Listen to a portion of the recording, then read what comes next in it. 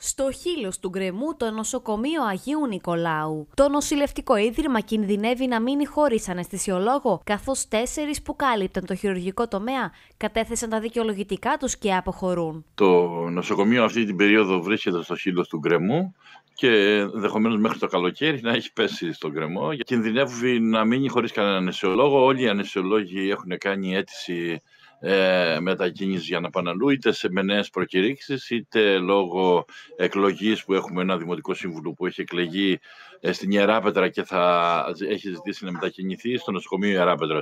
Ε, και αυτό που αναμένεται είναι ε, Δυστυχώς, στους επόμενους μήνες το νοσοκομείο να μείνει χωρίς κανέναν νοσολόγο. Η εν λόγω εξέλιξη προκαλεί έντονο προβληματισμό, καθώς όπως περιγράφει ο πρόεδρος του Συλλόγου Εργαζομένων, υπάρχει φόβος να παραλύσει το νοσοκομείο, καθώς θα δημιουργηθεί πρόβλημα στη λειτουργία της χειρουργικής, μεευτικής, ουρολογικής και ορθοπαιδικής κλινικής. Παράλληλα, δεν θα μπορούν να εξυπηρετηθούν ούτε έκτακτα χειρουργία. Θα δημιουργήσει πρόβλημα σε όλο το χειρουργικό τομέα του νοσοκομείου και στη χειρουργική κλινική και στη μευτική και στην ουρολογική και στην ορθοπαιδική. Ουσιαστικά θα μείνει το νοσοκομείο μισό. Δεν, θα μπορεί καθόλου να δουλέψει ο χειρουργικός τομέας. Πώς μπορεί να λειτουργήσει ένα νοσοκομείο χωρίς ανασιολόγο. Δεν γίνεται. Ούτε χειρουργία θα μπαίνουν, ούτε έκτακτα χειρουργία. Με φόντο την δημόσια υγεία που ακροβατεί σε τεντωμένο σκηνή, γίνονται προσπάθειες για επικοινωνία με το Υπουργείο Υγείας ώστε να δοθεί λύση στο φλέγον ζήτημα, ενώ προγραμματίζονται κινητοποιήσει στο Λασίθι μέσα στο Φεβρουάριο. Και αυτό που αποφασίστηκε είναι